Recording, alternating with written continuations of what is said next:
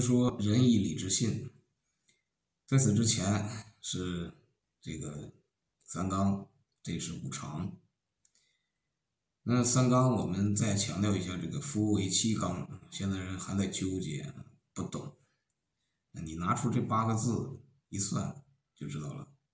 我克者为妻财，凡是我能驾驭的这个妻跟财是同物，那我要掌控的。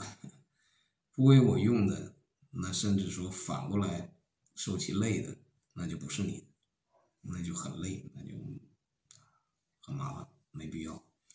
那反过来呢，就是这个，呃，克我者，驾驭我的，关心我的，管我的，这个就是丈夫。你只有这样算才会准。那古人千年以来都是如此，而且男女有别。因为一个是他，那个是他，所以这两个，啊，甚至有的事情，啊，应验了会相反，所以说，嗯，算法也是不一样的。现在人搞不懂啊，把女人当男人这样一起算，所以过的什么日子？嗯，这个仁义礼智信呢，啊，在此之前，啊，是仁义礼智。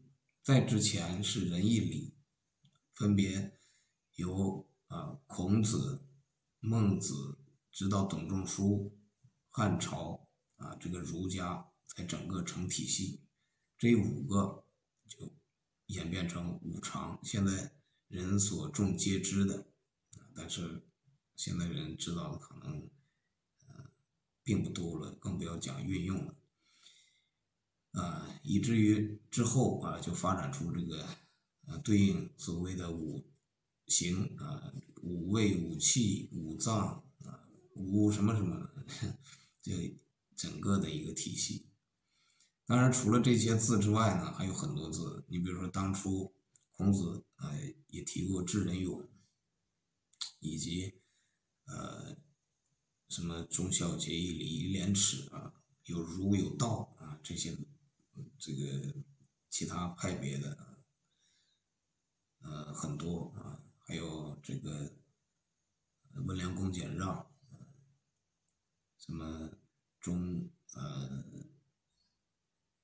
这个廉耻啊，什么这些字啊、数等等，但是我们只讲这个成体系的啊，那其他的可能一个字代表一个半字，两个字都融合在一起了。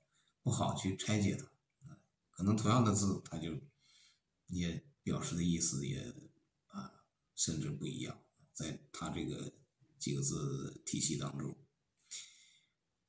嗯，这个人指的是恻隐之心啊，那个人这个字，将心比心，两个人啊，你怎么样，他怎么样，你心里应该有个数，要公平对待，一视同仁，然后义。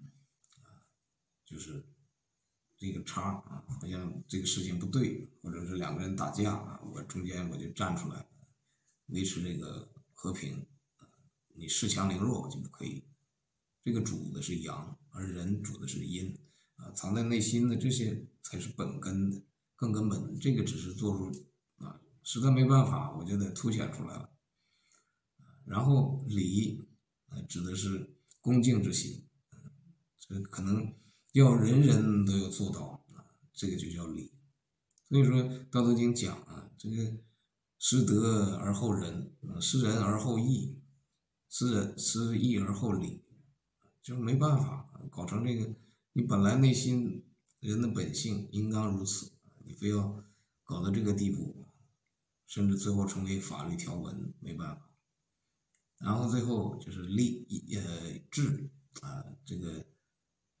就是是非之心，这就要动心思了，这个就更麻烦了啊！人这个心机啊，最后还有这个信。现在社会我们可以知道，这个信用危机、契约精神，跟西方学来的这些。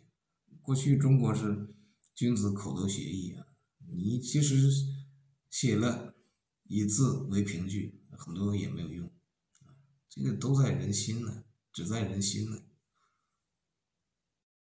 而并非在人言这个信啊，我们后